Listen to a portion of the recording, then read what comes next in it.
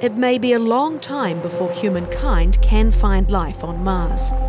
But one thing we do know is the time is coming when astronauts will stand on its surface. Let me take you on a journey to the future. Humans have finally landed on Mars and want to stay, but where? Should the design of a Mars habitat be merely functional? Or is it vital to the sanity of the Martians to have touches from home? What do you do on a planet with few materials when the nearest store is millions of kilometres away.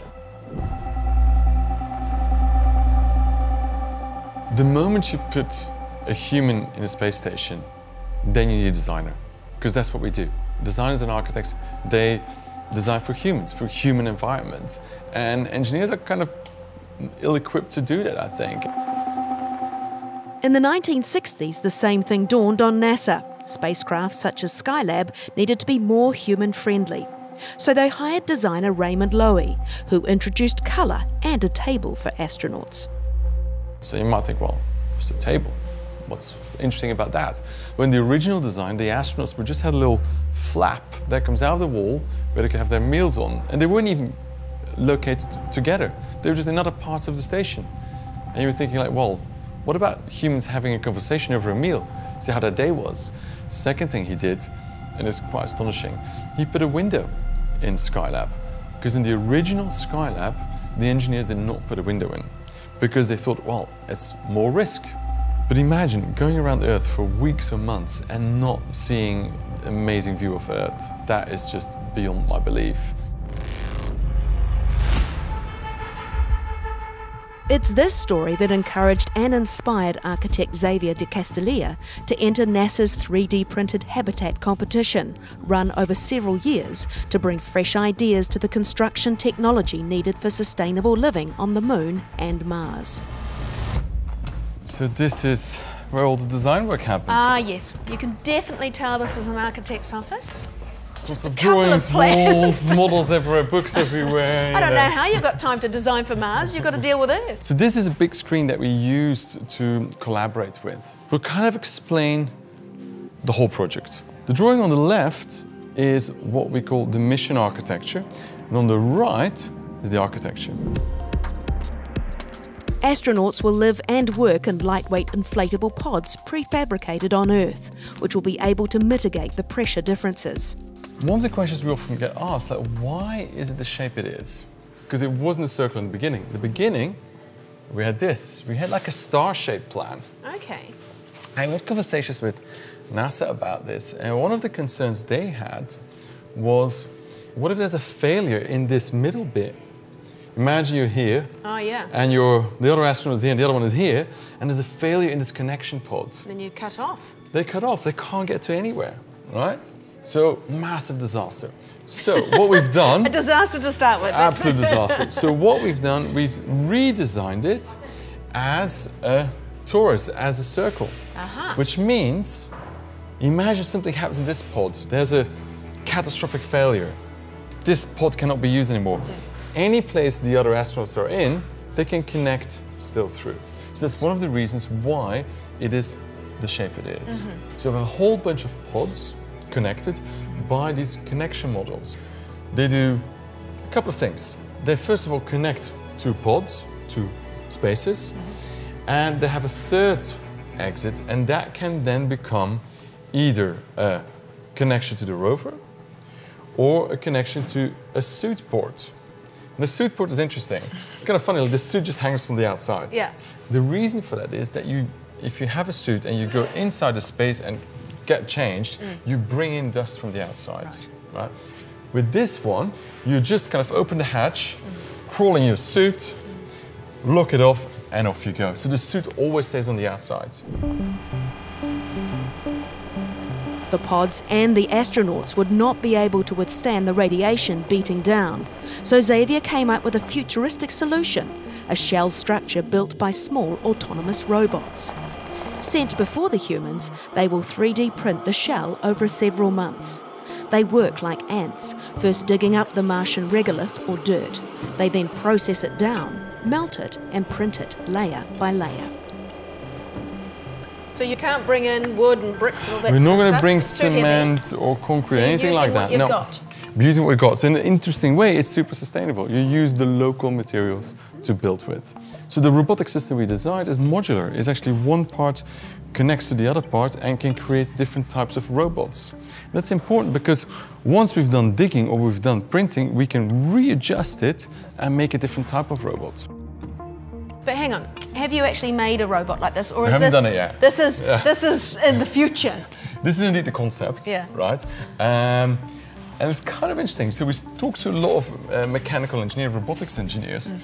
and often they go, well, you know, your one-wheel robot, that might not be very feasible, but they but they always go like, yeah, but the, the idea of having autonomous, readjustable uh, robots and modular robots, that's a kind of an interesting idea. So we've put some funding out and hopefully we're going to start building some of these soon.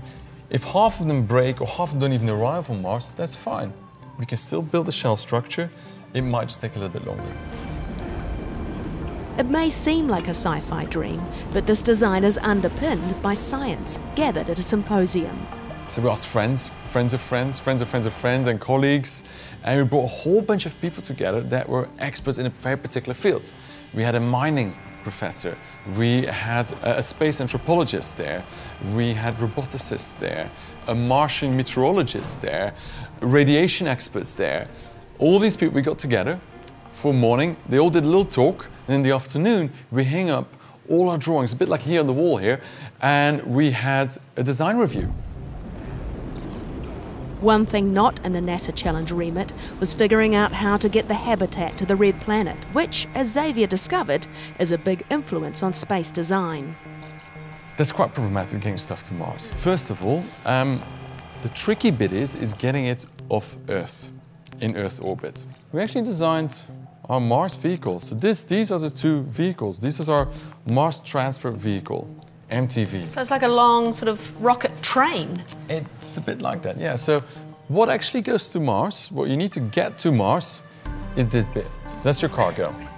All that will be fuel, and there's the engine, right? The rocket engine that brings you to Mars. Now, of course, you can't launch that in one go. What you need to do is you need to launch the cargo, fuel, fuel, fuel, and the rocket engine. So all that gets into orbit, bit by bit, and gets assembled in orbit. So these things are assembled in orbit, Earth orbit. It would be too heavy to get it up, right? But all of them are done by a separate rocket. So these are all the rocket launches that you need. Then bring it all together in space, and then you're off to Mars. The mission design was devised by Professor David Cullen, who's a professor of astrobiology and space biotechnology.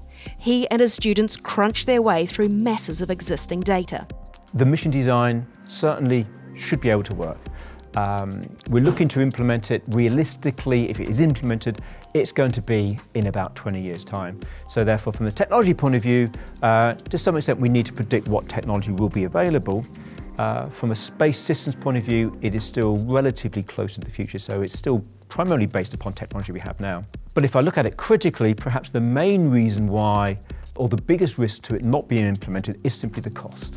It is going to be expensive, and therefore the ultimate question is whether society is willing to invest the resources. But enough about cost. For a moment, let your mind wander and imagine what it might be like to live in a Mars habitat.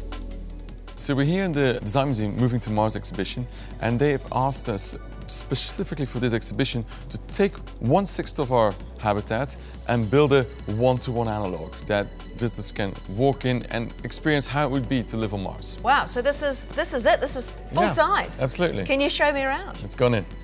Ooh, There we go. This is lovely and cozy. Actually, it's got a real sort of Japanese feel to it. Um, well, that's maybe because we used um, the flooring, as you see, is bamboo. Oh. And you might think, well, why are you bring all bamboo to Yeah. Mars?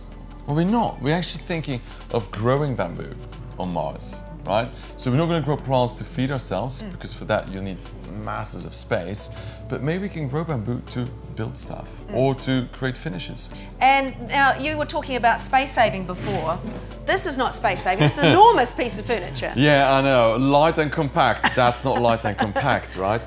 But you know what? We're not going to bring this to Mars. Mm. We're going to print it on Mars. Reason is because our astronauts on Mars, they will have lots of waste material from packaging, from food, from science experiments. So why not use that, recycle it, and print stuff out of it? For example, your furniture. Wow, that's a lot of food packaging. Well, the, lot, the more they eat, the more they do science, the more furniture they can get. Hooray! right? Another reason to eat. That's Yeah. brilliant. Okay, and look, you've got a lovely view here as well. Yeah. Even though we're sort of looking at a, a desert, this actually, because we're looking sort of at the other pods, it sort of makes it feel a little bit more sort of community. What you're looking really at is a courtyard. The courtyard is there for a very important reason. Because we'll get indirect light in, you get some light from Mars, but you don't get direct sunlight in. You see, the sunlight doesn't really hit us. Hmm. And that's important because on Mars, direct sunlight means gamma radiation and is deadly. But we still want to have that view out, see somebody else in another pod. So obviously, you know, limited with space. Yeah. So you had to be clever. Absolutely. We have this idea of a radio racking system mm-hmm. where it can be anything. It can be a kitchen, but it can also be a wardrobe, it can be a workshop or a lab. And the way to save space is that we, they are movable. So they're mm. movable racks, and suddenly we open up our lab space.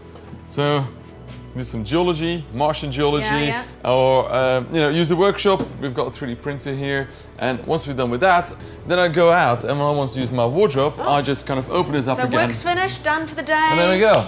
I get my clothes. Get your clothes So, out, yeah. and then of, bit of cooking. So we can use so much more space and so much more usability out of this pod by doing this. So what's your favourite part of this For me, design? Yeah, yeah. uh, it's really sitting in this big sofa and just looking at the rest of the Martian landscape. it's a beautiful sight.